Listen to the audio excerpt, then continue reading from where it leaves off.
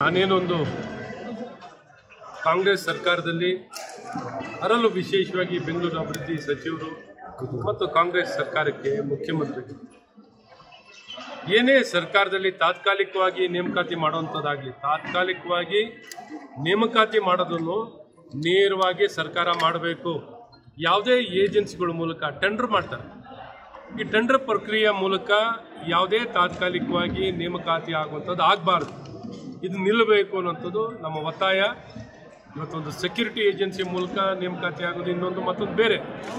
ನನ್ನ ಕೋರಿಕೆ ಏನು, ನನ್ನ ಪಕ್ಷದ ಕೋರಿಕೆ ಏನು ಅಂದರೆ, ನೇರವಾಗಿ ಎಲ್ಲ ಶಿಕ್ಷಕರು, ಎಲ್ಲ ನೌಕರಿ ಮಾಡಬೇಕು ಅಂತ ಬಯಸುವಂಥ ಪ್ರತಿಯೊಬ್ಬ ನಾಗರ, ನಾಗರಿಕನ ಕೋರಿಕೆ ತಾತ್ಕಾಲಿಕವಾಗಿ ಮಾಡಬೇಕಿದ್ರು ನೇರವಾಗಿ ಸರ್ಕಾರ ನೇಮಕಾತಿಯನ್ನು ಮಾಡಲಿ, ತಾತ್ಕಾಲಿಕವಾಗಿ ಆದ್ರೂ ಕೆ ಪಿ ಎಸ್ ಸಿಯಿಂದ ಪರ್ಮನೆಂಟಾಗಿ ಮಾಡೋದು ಬೇರೆ. ತಾತ್ಕಾಲಿಕವಾಗಿ ಮಾಡೋದನ್ನು ಸಹ ನೇರವಾಗಿ ಸರ್ಕಾರ ನೇಮಕಾತಿಯನ್ನು ಮಾಡಲಿ. ಇದನ್ನು ಮಾಡೋ ಮೂಲಕ ಈ ಮಧ್ಯಸ್ಥಿಕೆ, ಟೆಂಡರಿಂಗ್ ಮಾಡೋದು, ಈ ಎಲ್ಲ ಪ್ರಕ್ರಿಯೆಗಳನ್ನು ನೇಮಕಾತಿ ವ್ಯವಸ್ಥೆಯಲ್ಲಿ ತೆಗಿಬೇಕು ಅನ್ನೋಂಥದ್ದು ಸರ್ಕಾರಕ್ಕೆ ಒತ್ತಾಯವನ್ನು ಮಾಡ್ತೀನಿ. ಹಾಗೆ ಮಾಡೋ ಮೂಲಕ ನಿಜಕ್ಕೂ ಮಧ್ಯಸ್ಥಿಕೆಯನ್ನು ವಹಿಸುವಂಥ ಯಾವ ವ್ಯಕ್ತಿನೂ ಬೇಡ, ಟೆಂಡ್ರಿಂಗ್ ಬೇಡ. ಕಮ್ಮಿ ರೇಟು ಜಾಸ್ತಿ ರೇಟಲ್ಲ. ಕನಿಷ್ಠ ಕನಿಷ್ಠ ಸಂಬಳವನ್ನು ಕೊಡುವಂಥದ್ದು ಏನು ನಿಗದಿ ಆಗುತ್ತೋ ಆ ನಿಗದಿ ಆಗಿದ್ದು ನೇರವಾಗಿ ಆ ಸಂಬಂಧಪಟ್ಟ ನೌಕರಿಯನ್ನು ಪಡೆದಿರುವಂಥ ವ್ಯಕ್ತಿಗೆ ಸಿಗಬೇಕು. ಮತ್ತು ಈಗ ನೋಡಿ ಗೆಸ್ಟ್ ಫ್ಯಾಕಲ್ಟಿ ತೊಳ್ತಾ ಇದ್ದೀವಿ.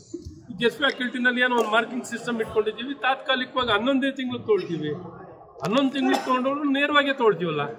ಅದೇ ರೀತಿ ಯಾವುದೇ ಒಂದು ನೇಮಕಾತಿಯನ್ನು, ಇವತ್ತು ಎಲ್ಲ ನೇಮಕಾತಿಯನ್ನು ಬಯಸ್ತಿರುವಂಥ ಪ್ರತಿಯೊಬ್ಬ ವ್ಯಕ್ತಿನೂ ಬಯಸೋದೇನು ಅಂದರೆ ಈ ಮಧ್ಯಸ್ಥಿಕೆ ಅವನಿಗೊಂದು ಕಮಿಷನು ಇನ್ನೊಂದು ಕಮಿಷನು ಮತ್ತೊಂದು ಕಮಿಷನು ಇ ಎಸ್ ಐ ಕಟ್ಟಲ್ಲ ಪಿ ಎಫ್ ಕಟ್ಟಲ್ಲ, ದುಡ್ಡು ಕೊಡೋದನ್ನು ಮೋಸ ಮಾಡೋದು. ಈ ರೀತಿ ಹಿಡಿದು ಸುಮ್ಮನೆ ನೇರವಾಗಿ ಮಾಡಿ ಇವತ್ತು ಸೆಕ್ಯೂರಿಟಿ ಏಜೆನ್ಸಿ ಮೂಲಕ ತಗೊಂಡಿರೋದು ಇನ್ನೊಂದು ಮತ್ತೊಂದು ಸರಿ ಇಲ್ಲ. ಅದು ಬೇರೆ. ಇದಕ್ಕಿಂತ ಹೆಚ್ಚಾಗಿ ಇವತ್ತು ಯಾವುದೇ ಏಜೆನ್ಸಿ ಕೊಡೋದು ಬೇಡ. ಯಾವುದೇ ಏಜೆನ್ಸಿ ಆಗಿರಲಿ, ಯಾವುದೇ ಏಜೆನ್ಸಿ ಏನು ಅನುಭವ ಇರೋರು ಅವರೇನು ಯಾರು ಏಜೆನ್ಸಿ ಇರೋರೇನು ಶಿಕ್ಷಣ ಕ್ಷೇತ್ರದಲ್ಲಿ ನಾನು ಶಿಕ್ಷಕರನ್ನು ಕೊಟ್ಟು ಅನುಭವ ಇರೋಂಥ ಅದಕ್ಕೆ ಹೇಳಿದ್ದು ಯಾವುದೂ ಇರಲ್ಲ.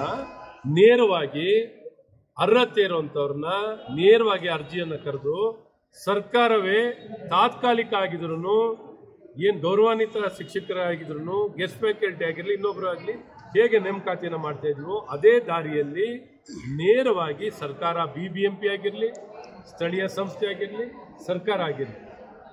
ಇವರು ನೇರವಾಗಿ ಮಾಡುವಂಥದ್ದು ಆಗಬೇಕು. ಸರ್ಕಾರ ಇಲಾಖೆ ಇದೆ. ಇಲಾಖೆಗಿಂತ ಉತ್ತಮವಾಗಿರೋದು ಇನ್ಯಾವ್ದು ಇರಲಿಕ್ಕೆ ಒಟ್ಟು ಸರ್ಕಾರ ಕಾಂಗ್ರೆಸ್ ಅಂದರೆ ಶಿಕ್ಷಣ ವಿರೋಧಿಗಳು. ಗುಣಮಟ್ಟದ ಶಿಕ್ಷಣವನ್ನು ಕೊಡಲಿಕ್ಕೆ ವಿರೋಧಿಗಳು ಗುಣಮಟ್ಟದ ಶಿಕ್ಷಣವನ್ನು ಕೊಡಲಿಕ್ಕೆ ಸಂಪೂರ್ಣವಾಗಿ ಕಾಂಗ್ರೆಸ್ ವಿಫಲವಾಗಿರುತ್ತೆ. ಹಾಗಾಗಿ ಅವ್ರು ಯಾವತ್ತೂ ಒಂದು ಉತ್ತಮ ವ್ಯವಸ್ಥೆನ ಕೊಡಲಿಕ್ಕೆ ಆ ದಿಕ್ಕಿನಲ್ಲಿ ಯಾವತ್ತೂ ಪ್ರಯತ್ನಗಳನ್ನು ಮಾಡಿಲ್ಲ. ಇವತ್ತು ಶಿಕ್ಷಣ ಸಚಿವರಾಗಲಿ, ಕಾಂಗ್ರೆಸ್ ಸರ್ಕಾರ ಆಗಲಿ ಸಂಪೂರ್ಣವಾಗಿ ವಿಫಲ ಆಗಿರುತ್ತೆ. ಈ ಶಿಕ್ಷಕರ ನೇಮಕಾತಿನಲ್ಲಾಗಲಿ ಅಥವಾ ಶೈಕ್ಷಣಿಕ ವ್ಯವಸ್ಥೆಯನ್ನು ನಡೆಸಲಿಕ್ಕಾಗಲಿ ರಿಸಲ್ಟು ಮತ್ತು ಸಿಲೆಬಸ್ಸು ಕರಿಕ್ಯುಲಮ್ ಪರೀಕ್ಷೆ ಮೌಲ್ಯಮಾಪನ ಏನು ಕೃಪಾಂಕ ಸಿ ಇ ಟಿ ಎಲ್ಲದರಲ್ಲೂ ನೋಡಿ ಎಲ್ಲದರಲ್ಲೂ ಔಟ್ ಆಫ್ ಸಿಲೆಬಸ್ ಕೊಟ್ಟಿರೋದೇ ಆಗಲಿ ಆ ಪರೀಕ್ಷೆ ನಡೆಸಿದ ವಿಚಾರದಲ್ಲೇ ಆಗಲಿ ಹತ್ತನೇ ಕ್ಲಾಸಲ್ಲಿ ಕೊಟ್ಟಿರೋಂಥ ಕೃಪಾಂಕ ವಿಚಾರದಲ್ಲಾಗಲಿ ಎಲ್ಲ ಕಡೆನೂ ಗೊಂದಲ. ಹಾಗಾಗಿ ಅವರು ಶಿಕ್ಷಣದ ಬಗ್ಗೆ ತಿಳುವಳಿಕೆ ಇಲ್ಲದೆ ಏನು ಇವತ್ತು ನಿರ್ಧಾರಗಳನ್ನು ತಗೊಳ್ತಿದ್ದಾರೆ ಇದು ಹೊಸದಲ್ಲ. ರಾಷ್ಟ್ರೀಯ ಶಿಕ್ಷಣ ನೀತಿ ಅನ್ನುವಂಥದ್ದು ಹೊಸದಾಗಿ ಬಂದಿರೋದಲ್ಲ. ಅರವತ್ತೆಂಟರಿಂದಲೂ ಇದೆ. ಇದು ಮೂರನೇ ರಾಷ್ಟ್ರೀಯ ಶಿಕ್ಷಣ ನೀತಿ ಕನ್ಕರೆಂಟ್ ಸಬ್ಜೆಕ್ಟ್. ಸಂವಿಧಾನದಲ್ಲಿರುವಂಥ ತಿದ್ದುಪಡಿಯಲ್ಲಿ ಕಾಂಗ್ರೆಸ್ನವರೇ ತಿದ್ದುಪಡಿಯನ್ನು ತಂದು ಕನ್ಕರೆಂಟ್ ಮಾಡಿದ್ದಾರೆ. ಹಾಗಾಗಿ ಇದನ್ನು ಪಾಲನೆ ಮಾಡಲೇಬೇಕಾಗುತ್ತೆ.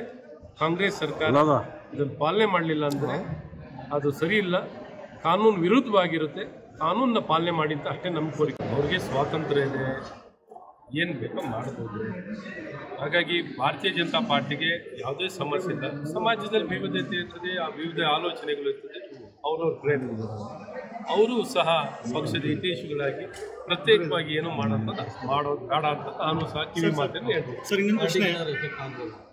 ಎಫೆಕ್ಟ್ ಏನಾಗುತ್ತೆ? ಭಾರತೀಯ ಜನತಾ ಪಾರ್ಟಿ ಜನರ ಪಾರ್ಟಿ. ಜನರ ಪಕ್ಷ.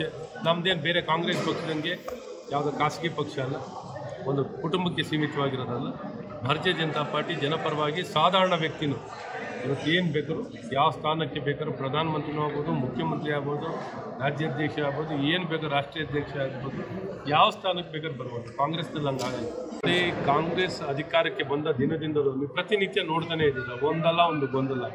ಈ ರೀತಿ ತುಷ್ಟೀಕರಣದ ರಾಜಕಾರಣವನ್ನು ಮಾಡಿಕೊಂಡು ಅಸಹಾಯಕರಾಗಿ ಇವತ್ತು ಸರ್ಕಾರ ಅಸಮರ್ಥವಾಗಿ, ಆ ಸಮರ್ಥತೆ ಇಲ್ಲದೆ ಅಸಮರ್ಥವಾಗಿ ಯಾವ ಒಂದು ದಿಕ್ಕು, ದಿಸೆ ಇಲ್ಲದೆ ಇವತ್ತು ಕಾರ್ಯಭಾರವನ್ನು ಮಾಡ್ತಿದ್ದಾರೆ, ಆಡಳಿತವನ್ನು ಮಾಡ್ತಿದ್ದಾರೆ. ಹಾಗಾಗಿ ಇವತ್ತು ಸನ್ ಜನಕ್ಕೆ ಬೇಸತ್ತಿದ್ದಾರೆ, ಸಾಕಾಗಿದ್ದಾರೆ.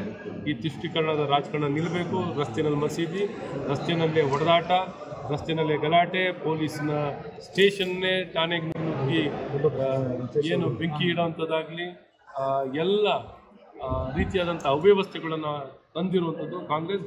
ಅವ್ರಿಗೆಲ್ಲ ಒಂದು ಕಡೆ ಕ್ರಮ ವಹಿಸ್ಲಿಕ್ಕೂ ವಿಫಲರಾಗಿದ್ದಾರೆ. ನೀವೇನೇ ಕಾನೂನು ಪೊಲೀಸರು ಹೊಡೆದ್ರು ಸುಮ್ಮನೆ ಇರ್ತಾರೆ. ಪೊಲೀಸ್ ಸ್ಟೇಷನ್ ಬೆಂಕಿ ಇಕ್ತೀನಿ ಅಂದ್ರು ಸುಮ್ಮನೆ ಇರ್ತಾರೆ. ಏನು ಬೇಕಾದ್ ಮಾಡಿ ಪೊಲೀಸು ಮುಖ. ಅದೇ ರೈತರು ಮಾಡಿದರೆ ಗೋಲಿಬಾರ್ ಅದೇ ಬೇರೆ ಯಾರ ಹಿಂದೂ ಕಾರ್ಯಕರ್ತ ಮಾಡಿದರೆ ಗೋಲಿಬಾರ್ ಇವತ್ತು ನೋಡಿ ಸರ್ಕಾರ, ಲೂಟಿ ಸರ್ಕಾರ. ಪ್ರತಿಯೊಬ್ಬ ಈ ಕಾಂಗ್ರೆಸ್ ಸಚಿವ ಸಂಪುಟದಲ್ಲಿರೋರು ಹೆಚ್ಚು ಕಡಿಮೆ ಇವತ್ತೆಲ್ಲ ಬೈ ಲೂಟಿ ಲೂಟಿ ಲೂಟಿ. ಲೂಟಿ ಹೊಡಿತಾ ಇದ್ದಾರೆ. ಇವತ್ತು ಆತ್ಮಹತ್ಯೆ ಆಗಿರೋದು. ಇಂಥ ಬೆಳಕಿಗೆ ಬರ್ತಾನೆ ಇದೆ. ಅಲ್ಲಿ ಆತ್ಮಹತ್ಯೆ ಇಲ್ಲಿ B M T C driver ಆತ್ಮಹತ್ಯೆ ಇಲ್ಲಿ ಡ್ರೈವರ್ಸ್ ಅಂತ. ಅಲ್ಲಿ ಆತ್ಮಹತ್ಯೆ ಮಾಡ್ಕೊಂಡ್ರು ಇಲ್ಲಿ ಲೂಟಿ ಮಾಡಿದ್ರು ಇಲ್ಲಿ ತಗೊಂಡ್ರು ಬಿಲ್ ಪೇಮೆಂಟ್ ಮಾಡಿಲ್ಲ ಅಂತ. ಗುತ್ತಿಗೆದಾರ ಆತ್ಮಹತ್ಯೆ ಮಾಡ್ಕೊಳ್ಳೋದು ಅಭಿವೃದ್ಧಿ ಇಲ್ಲದದ್ದು ಇವತ್ತು ಲೇಟೆಸ್ಟ್ ಇವತ್ತೇನೊಬ್ಬ ಅಧಿಕಾರಿ. ಅವನಿಗೆ ತಲೆ ಕಟ್ಟುತ್ತಾರೆ ಅನ್ನುವಂಥ ಕಾರಣದಲ್ಲಿ ನೀಟಾಗಿ ಭಾಳ ಸ್ಪಷ್ಟವಾಗಿ ನೂರ ಎಂಬತ್ತೇಳು ಕೋಟಿನ ಸರ್ಕಾರದ ಹಣವನ್ನು ಹೇಗೆ ಗುಳುಂ ಮಾಡಿದ್ದಾರೆ ಅನ್ನೋದನ್ನ ಭಾಳ ಸ್ಪಷ್ಟವಾಗಿ ಬರೆದಿಟ್ಟು ಇವತ್ತು ಆತ್ಮಹತ್ಯೆ ಇದ್ದಾರೆ. ಇದಕ್ಕೆ ಮುಖ್ಯಮಂತ್ರಿಗಳೇನು ಉತ್ತರ? ಕಾಂಗ್ರೆಸ್ನವರು ಉತ್ತರ ಏನು? ಮಂತ್ರಿಗಳೇನು ಉತ್ತರ? ಈ ರೀತಿ ಪ್ರತಿನಿತ್ಯ ಭ್ರಷ್ಟಾಚಾರದಲ್ಲಿ ಇಡೀ ಸರ್ಕಾರ ತೊಡಗಿದೆ. ಇದು ಬಯಲಿಗೆ ಹೇಳಿದ್ರು ಈ ಸರ್ಕಾರ ಕಾನೂನು ಸುವ್ಯವಸ್ಥೆ ಕಾಪಾಡಲು ವಿಫಲರಾಗಿದ್ದಾರೆ. ಇವತ್ತೇನು ತೀರೋಗಿರುವಂಥ ವ್ಯಕ್ತಿಗೆ ಇದಕ್ಕೆ ಕಾರಣ ಏನು? ಉತ್ತರ ಕೊಡಲಿ ಸರ್ಕಾರ. ನೂರ ಎಂಬತ್ತೇಳು ಕೋಟಿ ಹೇಗೆ ವರ್ಗಾವಣೆ ಆಯಿತು? ಹೇಗೆ ವರ್ಗಾವಣೆ ಆಯಿತು? ಹೇಗೆ ಹೇಗೆ ಬೇರೆ ಬೇರೆ ಅಕೌಂಟಿಗೆ ವರ್ಗಾವಣೆ ಆಗಿರೋದನ್ನು ಉತ್ತರ ಕೊಡಬೇಕು ತನಿಖೆ ಅಲ್ಲ ಅದು. ತನಿಖೆ ನೇರವಾಗಿ ಇಲ್ಲಿ ಎದ್ದು ಕಾಣ್ತಿದೆಯನ್ರಿ ಕಣ್ಣು ಮುಂದೆನೇ ಕಾಣ್ತಿದೆ ಇದಕ್ಕೇನು ಗೊತ್ತಿಲ್ಲದೆ ಇದ್ರೆ ತನಿಖೆ.